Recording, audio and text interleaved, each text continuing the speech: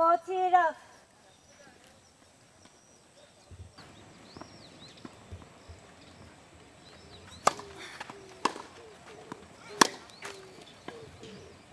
Love 30.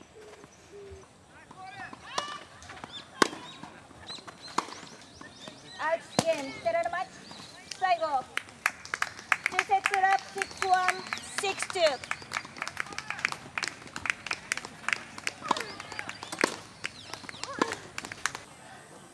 浜松のコートで試合するのが1年ぶりで、まあ、すごい楽しみな気持ちと、まあ、初戦で少し緊張もありそうだなって試合前思ってたんですけど、まあ、落ち着いてプレーして勝利できたのでよかったな。とあまり前回優勝とかは気にしすぎずでもそれも自信にしてもう強気でそれを強気に変えていけたらいいなと思ってます。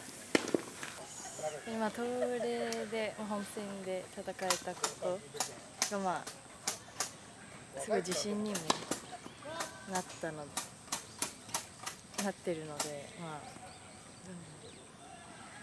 うん、すごい変わったわけではないんですけど少し気持ち的にはいいかなって思ってます。